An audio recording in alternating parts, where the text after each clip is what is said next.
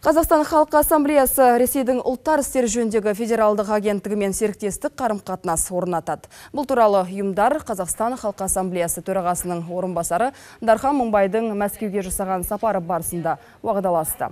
Тараптар ынтымақтастық жөніндегі меморандумға қол қойды.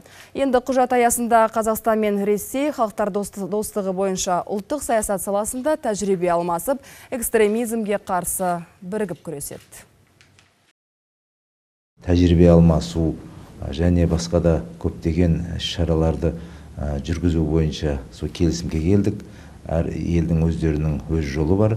Бірақ біз өзіміздің қазақстандық модельді жақсы жағын бұлар білуге өздері сондай қызығып отыр. Өйткені ассамблеяның қазақстан халқы ассамблеясының осы жылдар ішінде құрылғалы бері 95 жылдан бері қаншама үлкен табыстарға жетті. Мы как раз заключили соглашение. Біз қазақстан халқы ассамблеясымен маңызды бағыттарды дамытуға арналған келісімге қол қойдық. Ол жастардың белсене қатысуымен өтетін жобалар. Ұлттық және діни негіздер бойынша экстремизмнің алдын алмақпыз. Сондай ақ салт дәстүріміз бен мәдениетімізді таныстыру үшін этномәдениет саласындағы жобаларды да қамтыдық.